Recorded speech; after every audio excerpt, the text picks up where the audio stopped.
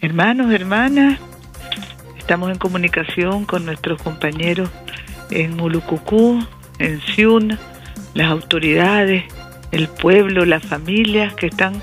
rindiendo homenaje a Monseñor David. Sus hermanos, Monseñor Pablo, salieron esta mañana con su cuerpo en helicóptero, llegaron a Mulucucú, fue recibido con amor de pueblo, amor en grande, recibido, llevado a un campo de fútbol donde el pueblo se volcó a rendir homenaje y en una caravana inmensa va para Ciudad. Del 10 al 18 de enero en Managua estará una exposición maravillosa de muñecas y artesanías japonesas y luego va a otros municipios del país. Nuestro agradecimiento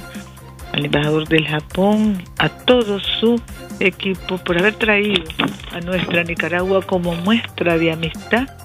esta hermosísima exposición de arte manual japonés que se inaugura el 10 en el Parque Japonés. Mañana, la Asamblea Nacional a las 10 de la mañana realizará su sesión solemne de inauguración de la 36 legislatura, con la participación de poderes del Estado, gabinete, por supuesto los representantes ante la Asamblea, cuerpo diplomático y trabajadores de ese poder del Estado.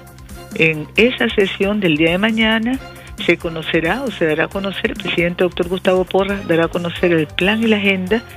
del Poder Legislativo para este año 2020.